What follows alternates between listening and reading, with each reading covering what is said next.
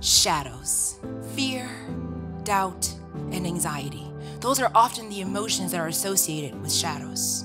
17 years ago, our country faced a shadow experience. So, today, in honor of the nearly 3,000 lives that were lost on September 11, we are going to come out of the shadows.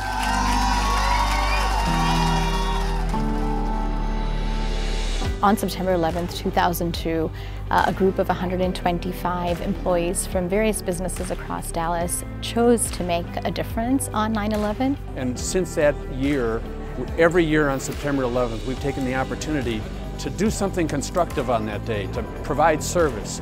This is a huge giving area. Whether your interest is animals and the arts or veterans and zoos or any of the causes in between, there's something that's going to be near and dear to your heart and passionate that you can support. Today I'll be over at Honor Courage Commitment making hero boxes for deployed service members. I've been running around grabbing notes. I've been packing up at least 150 boxes for the service members all around the world. It's just such an honor to be able to do this today. We do it because it's the right thing to do. Um, I believe the purpose of business is to be able to do good in the world.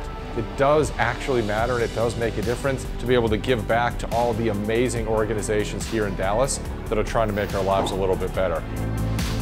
We're here for Freedom Day and, and we're putting together goodie bags to say thank you to um, all the people who serve our community. So our company's been involved for about seven years. And the Freedom Day is a single event that actually attracted our organization to be a part of CFT's community. I think this has the opportunity to happen across the country. Just seeing our home here full of volunteers who care about what we care about, it's kind of mind-blowing to see all that come together. This is what I would want it to be on a recurring basis. You can't measure what's in somebody's heart.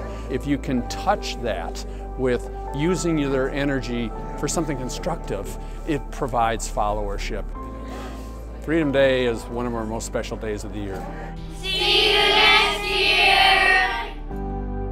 Together we will go out and change lives. Together we will go out and impact communities. Together we will connect with awesome people.